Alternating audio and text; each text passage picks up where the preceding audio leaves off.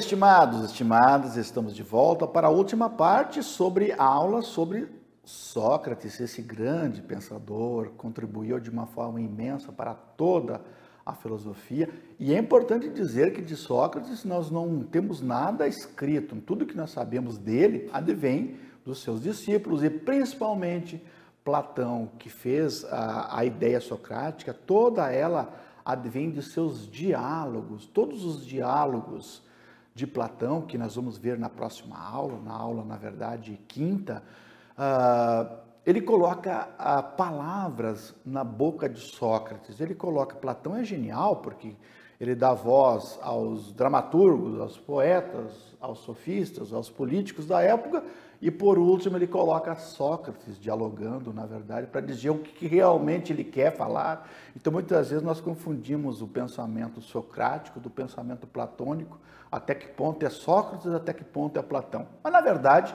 vocês sabem já que Platão era um discípulo socrático, então tudo que nós sabemos, na verdade, de Sócrates advém do, dos diálogos de Platão, perfeito? Uh, é importante dizer, então, que a filosofia, ela, ela se separa, ela tem uma divisão assim. Sócrates é o primeiro dos pensadores, né, considerado um clássico, o inicial, mas antes dos, de Sócrates nós temos aqueles outros precursores da filosofia, que na história da filosofia a gente chama isso de quê? De pré-socráticos. Pré-socráticos, na verdade, Tales de Mileto, Heráclito de Éfeso, Parmênides, uh, Pitágoras, que eles são pensadores que vêm antes e que começam a filosofar.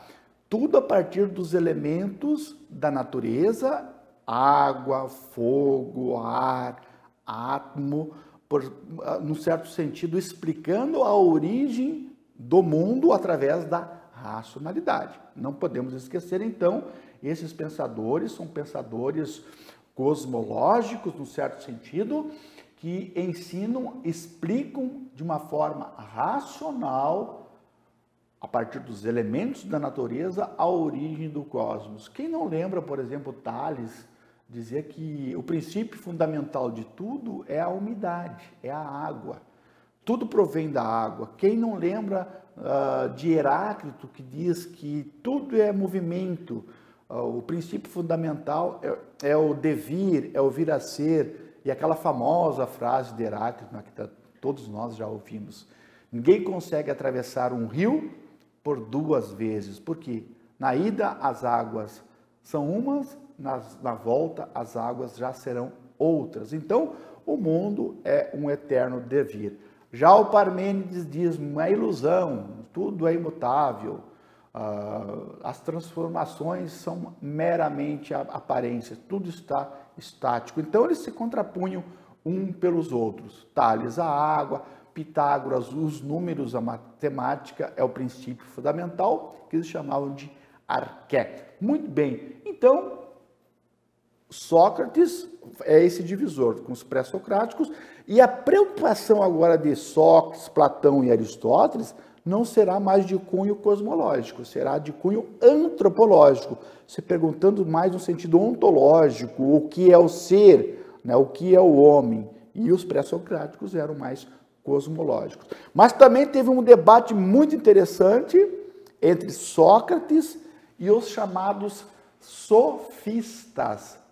Quem eram os sofistas, afinal, na época? Sofistas eram sábios, eram professores itinerantes que ensinavam de como você deve se portar na ágora, na polis, argumentando através do discurso, através da retórica, táticas de como falar bem e ter sucesso na vida política.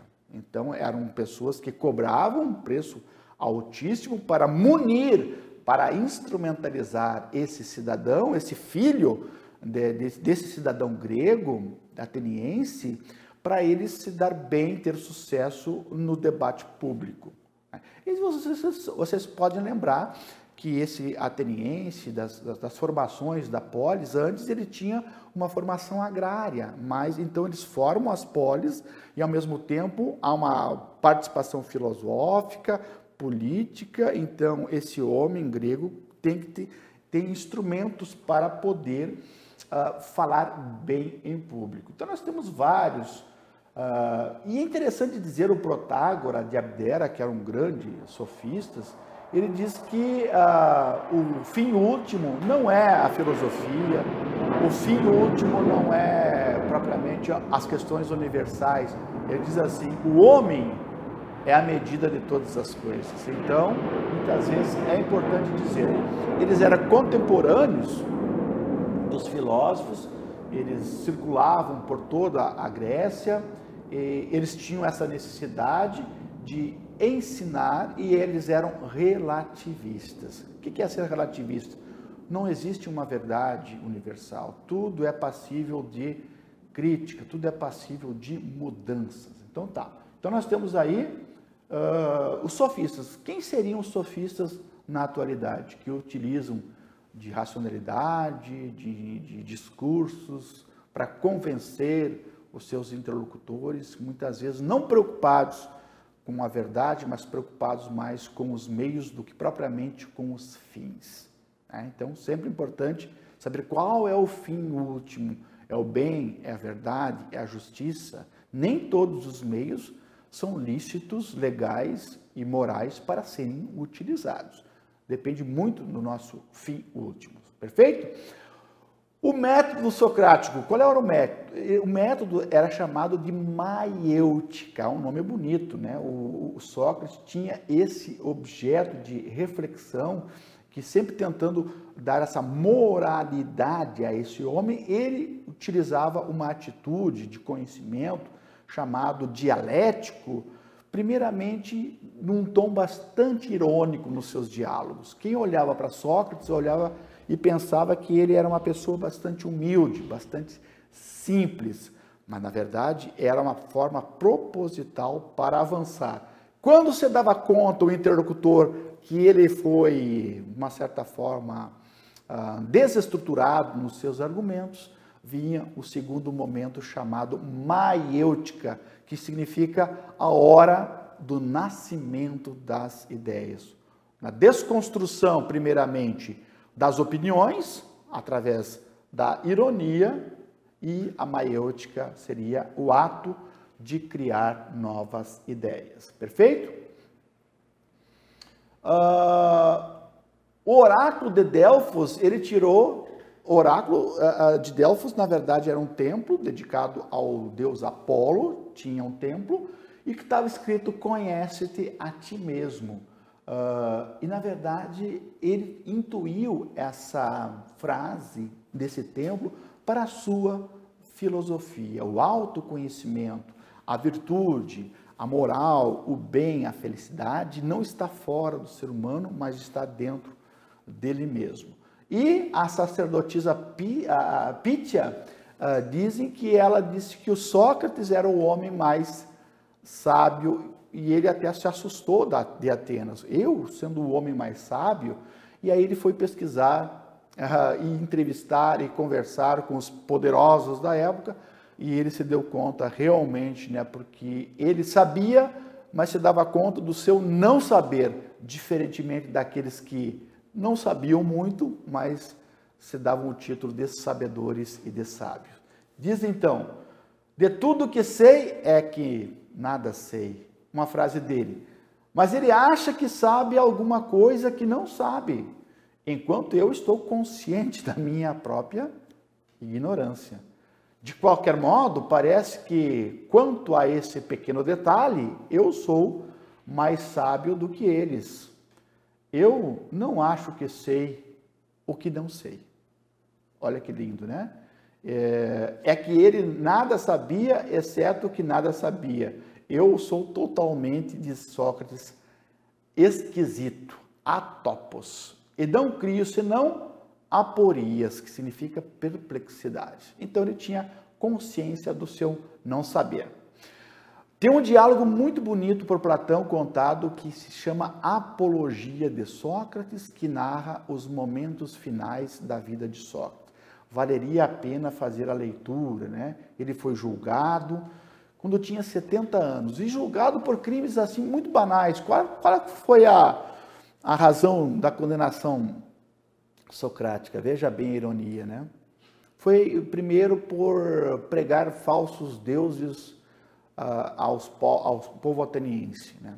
que o povo ateniense acreditava, Sócrates não acreditava. E segundo, por corrupção da juventude. Significa lançar ideias revolucionárias nas mentes dos jovens. Ele foi condenado à morte, esteve preso. Uh, como pena, deram para ele iniciar o ostracismo, que seria o exílio, mas ele perguntou assim: Mas o que, que farei eu fora de Atenas? Segunda pena, deram para ele uma pena de pagamento de uma multa. Ele olhou para os seus discípulos, ninguém teve dinheiro para pagar e aceitou então a pena capital que ele foi, que era, seria um ingerir o veneno, na verdade mortal, chamado cicuta, que advém, acho que de uma erva, eu não pesquisei muito bem. Então, ele foi, ah, na verdade, condenado e morto. O Osten Gardner, do ano 90, do anos 90, teve um livro ah, muito legal, assim, chamado O Mundo de Sofia, que todo mundo já, já, já leu alguma parte, que ele faz uma comparação assim entre Jesus Cristo e Sócrates. Ambos eram mestres do saber, ambos eram enigmáticos, ambos eram ah, tinham não deixaram nada escritos, ambos uh, tinham discípulos, ambos foram mortos e ambos continuam vivos na memória de todo o Ocidente. Perfeito? Uh, uma frase final contada por Platão, quando ele foi condenado. Bem, é chegada a hora de partirmos, eu para a morte, disse Sócrates, vós para a vida. Quem segue o melhor destino, se eu, se vós, é segredo para todos, exceto para as divindades. Que, que seria a morte de Sócrates? Ou seria um sono profundo, ou seria um reencontro com aquelas pessoas que mais nós amamos, nós idolatramos. Então nós estamos, estamos amparados, né? Se o pensador Sócrates assim pensava, estamos também um certo lenitivo, uma certa esperança. Ouvi dizer que os atenienses o teriam condenado à morte. Sócrates também disse assim, e eles também pela natureza. Não adianta condenar Sócrates, eu vou morrer agora, mas depois a natureza vai se encarregar também de levá-los né, pela morte. E a última frase ele disse assim: Nós devemos um galo, uma oferenda, né, ao deus Asclépio, ou Esculápio, que era o deus da medicina. Eles faziam oferenda e era para pagar uma oferenda ao deus Esculápio. Resumo, para fechar a ideia: conhece a ti mesmo, é importante a gente notar. A única coisa que sei é que nada sei. Uma vida sem ser examinada não merece ser vivida. Ele foi obediente à sua consciência comparado Sócrates à figura de Cristo. O homem que não quis deixar posteriormente nenhuma só palavra escrita por sua mão, pois se entregou por completo à missão do seu presente lhe apontava, viver intensamente. Sócrates ministrava seus ensinamentos através de perguntas e respostas. É importante dizer que todas as investigações de Sócrates assumem a forma de perguntas e respostas sobre conceitos universais. O que é coragem, o que é justiça, o que é piedade, o que é o autodomínio. Então Sócrates era efetivamente tal como Platão o pinta, um criador das ideias, da teoria da, da reminiscência, ele viveu esse apogeu da sociedade ateniense, mas também foi um crítico dessa sociedade. Sócrates era um médico, mas não um médico né, do corpo físico. Sócrates era um grande doutor, um grande médico, mas da alma, do homem interior. Perfeito? Cuidar da alma. Sócrates fala como médico como, cujo paciente fosse não o homem físico, mas o homem interior.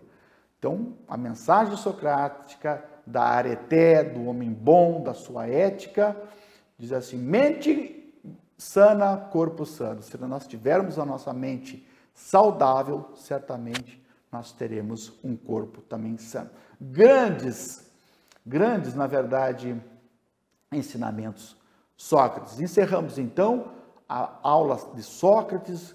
Nós temos muito, na verdade, a aprender com ele e na próxima aula nós vamos já adentrar na contribuição de Platão, o seu discípulo, na discussão sobre o amor. Não deixe de nos acompanhar. Até a próxima aula. Abraço!